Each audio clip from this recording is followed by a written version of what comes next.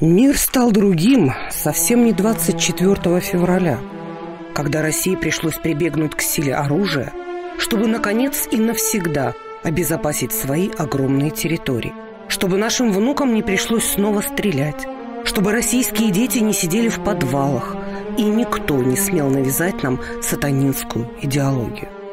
Запад и стоящая у него на содержании Украина перешли Рубикон гораздо раньше. Запад намеренно не замечает нацизм на Украине. Он его нигде не заметит, потому что ему это выгодно, потому что он сам его взрастил. Вот кто воспитал это молодое существо? Посмотрите. Я воював. Я воював 17 років. Е, Я укроп, я нацист, да, я воював проти ДНР. Українці чи росіяни? Там я не назву тих людей українцями. А вони нам не потрібні. Коли українські танки зайдуть в Донецьк, вони будуть знищені. Так можна тоді припинити вже зараз війну, якщо Ні, вони на їм потрібно їх знищити. Вы думаете, это просто бравада? Нет, именно так они поступали и поступают. И будут поступать, если их не остановить. Наши деды никому не доказывали, что в Германии есть нацизм. Они просто утилизировали его носителей. и мы должны исходить из того, что нацизму нет места на этой земле. Мы не могли избежать этой войны. Она все равно бы случилась. Противник наш – это не киевский режим. Это Североатлантический альянс. Не забывайте, что НАТО было создано для войны именно с нами, с Россией. Если драки не миновать, то нужно драться отчаянно, чтобы обязательно победить. А у нас других вариантов и нет. Но я все-таки как гражданин России и, и глава российского государства. Тогда хочу задаться вопросом. А зачем нам такой мир, если там не будет России?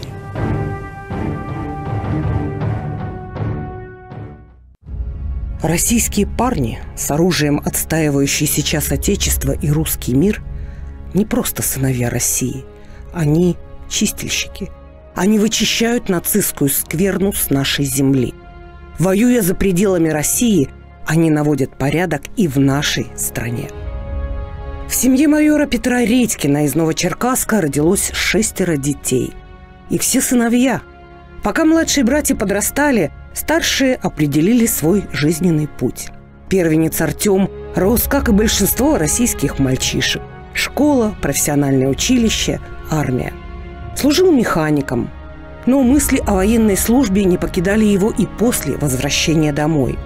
Наверное, это не случайно, ведь его отец всю жизнь носил форму, прошел две чеченские войны. Артем решил пойти по отцовским стопам и заключил контракт с вооруженными силами России. Старший брат Редькин служил в Гудермесе радиотелеграфистом экипажа радиостанции минометного дивизиона. За участие в одной из операций Артема наградили.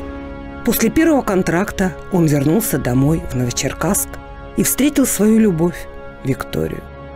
Сыграли свадьбу. У них родилась дочка Полина – После службы в Чечне Артем попал в 150-ю легендарную мотострелковую гвардейскую дивизию, название которой написано на знамени Победы. Бойцы этой дивизии в мае 45-го установили красный флаг на Рейхстаге. Сержант Редькин служил заместителем командира расчета гаубичного самоходно-артиллерийского дивизиона. Его сослуживец рассказывал, наш сержант – заметно отличался особым подходом к работе.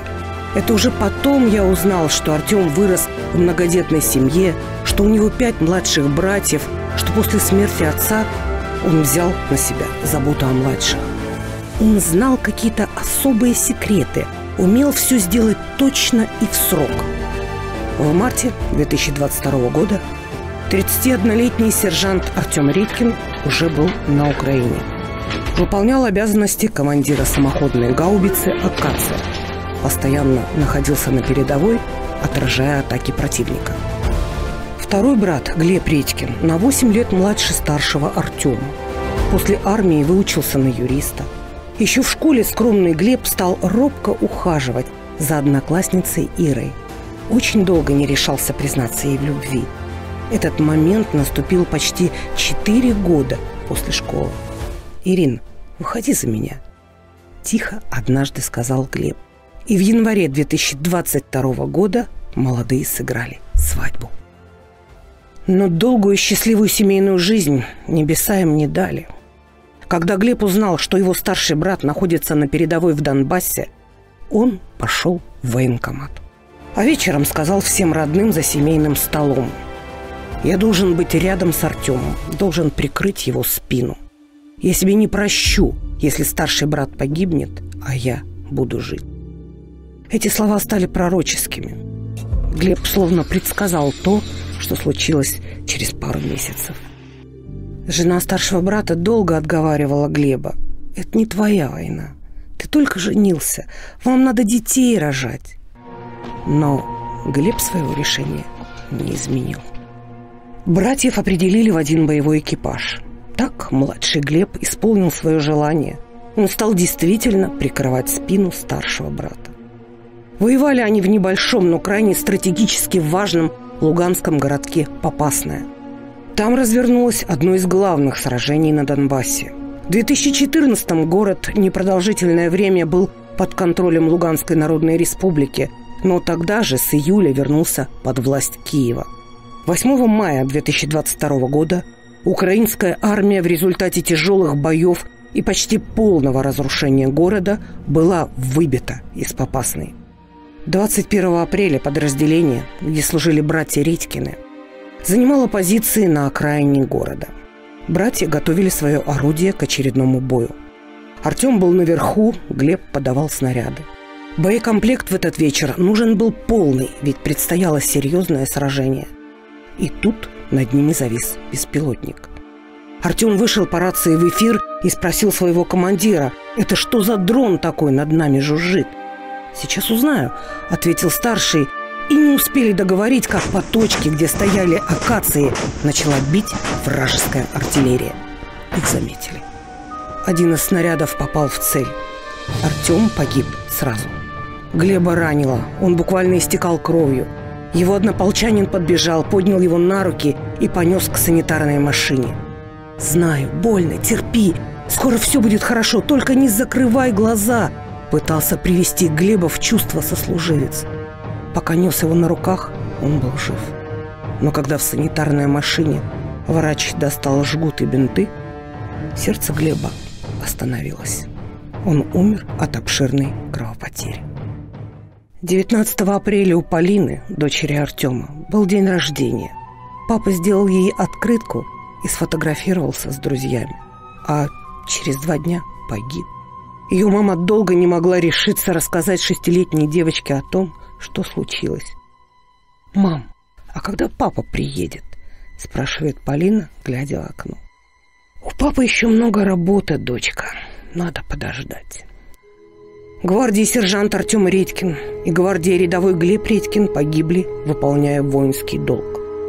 У них остались четверо братьев, двое из которых несовершеннолетние. Указом президента России оба брата награждены орденами мужества. Похоронили Артема и Глеба на новом кладбище в Новочеркасске с воинскими почестями.